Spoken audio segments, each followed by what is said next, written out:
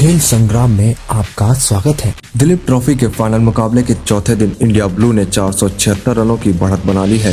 चौथे दिन बारिश के बाद खराब आउटफील्ड की वजह से सिर्फ़ 33 ओवर का ही खेल हो सका। इंडिया ब्लू ने एक रन से आगे खेलना शुरू किया। कप्तान गौतम गंभीर 36 रन बना कुलदीप यादव की गेंद पर एलबीडब्ल्यू हुए। वही बावन रनों की पारी खेलने के बाद ओपनर मयंक अग्रवाल भी कुलदीप यादव की गेंद पर नथु सिंह को कैच दे बैठे। इसके बाद दिनेश कार्तिक को 16 के स्कोर पर अमित मिश्रा ने विकेट कीपर अंकुश के हाथों स्टंप करा। इंडिया ब्लू को तीसरा झटका दिया।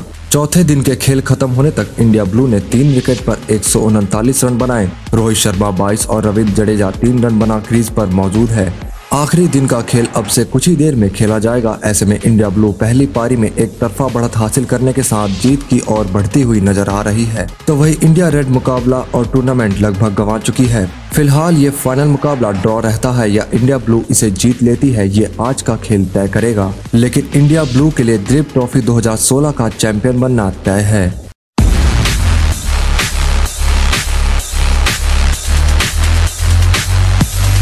आगे की खबरों के लिए देखते रहिए खेल संग्राम।